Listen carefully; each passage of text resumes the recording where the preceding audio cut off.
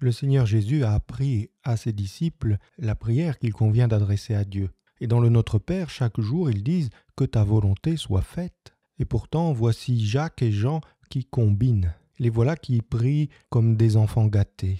Une petite machination, des intérêts particuliers. Personne n'échappe à cette attitude. Aujourd'hui, c'est Jacques et Jean qui demandent d'être à la droite et à la gauche du Seigneur. Demain, ce sera Pierre qui demandera quelle est notre récompense à nous qui avons tout quitté pour te suivre. C'est-à-dire que, quelle que soit notre activité, quels que soient les projets par lesquels nous servons le Seigneur et nous contribuons à l'avènement du royaume, nous avons l'art de nous servir nous-mêmes, de nous y retrouver pour notre propre compte. C'est-à-dire qu'on a au fait d'utiliser les saines et saintes activités qui constituent nos vies, non plus pour servir le Christ, mais en prenant le prétexte de servir le Christ, on travaille à sa propre réputation, à son propre intérêt, à son propre avantage, bref, on s'écarte de la sainteté. Alors Jésus, avec patience et douceur, Jésus tend à ses disciples la coupe du sacrifice. Pouvez-vous boire à cette coupe?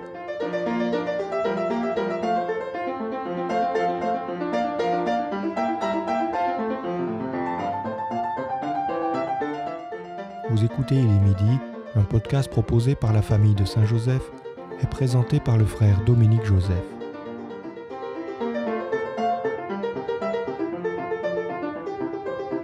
Le Seigneur le rappelle, celui qui perd sa vie à cause de moi. C'est un appel qu'il nous lance et nous demande de préférer notre propre perte, ou plus exactement la perte de nos personnages d'orgueil, de notre ego, de nos masques prestigieux auxquels nous travaillons avec tellement de dévouement. Sommes-nous prêts à les sacrifier pour suivre Jésus? Sommes-nous prêts à renoncer aux illusions de puissance dont nous nous aveuglons? Sommes-nous prêts à être saisis du vertige de la coupe que Jésus tend? Pouvez-vous boire? Qui peut boire à cette coupe sinon Dieu lui-même? De nous-mêmes, nous ne pouvons pas boire. Nous sommes trop faibles, trop petits, démunis. Alors pourquoi Jésus propose-t-il la coupe? Eh bien parce que lui-même la boit, parce que lui-même la boit le premier. Nous ne pouvons la boire que dans la mesure où Jésus est avec nous. Or c'est exactement cela que Jésus a obtenu du Père pour nous. Je veux, dit-il dans la grande prière de Jean 17, je veux que là où je suis, eux aussi soient avec moi. Ce qui veut dire que chaque fois que nous traversons des humiliations, Jésus est là. Chaque fois que nous vivons l'échec, Jésus est là. Chaque fois que nous sommes immergés dans la souffrance, Jésus est là. Dans la mort même, Jésus est là. Il nous l'a promis, il est avec nous tous les jours, et jusqu'à la fin des temps. Alors saisissant cette coupe en tremblant, conscient qu'il est temps de ne plus compter sur soi-même, nous recevons de Jésus la révélation du seul vrai pouvoir qu'il nous autorise, le pouvoir qu'il exerce lui-même et qu'il veut partager avec nous, le pouvoir paradoxal du don de soi.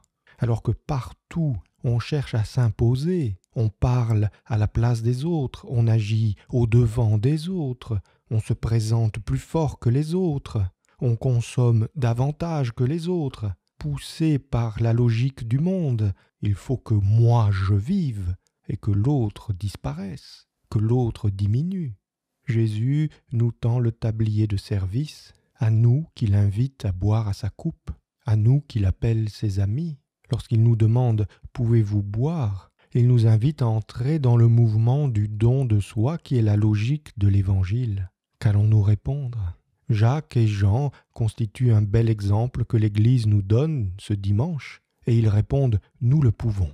Générosité spontanée, naïveté peut-être, mais audace nécessaire d'emboîter le pas de Jésus, de suivre l'exemple de Jésus, de se ceindre du tablier de service pour laver les pieds des frères, renverser la logique du monde, entrer dans la logique de l'Évangile, s'appuyer sur la puissance de celui qui peut tout, compter sur celui qui est avec nous, se donner sans rien attendre en retour, parce que rien n'est impossible à Dieu, et qu'on ne désire finalement plus qu'une seule chose, le laisser agir en nous.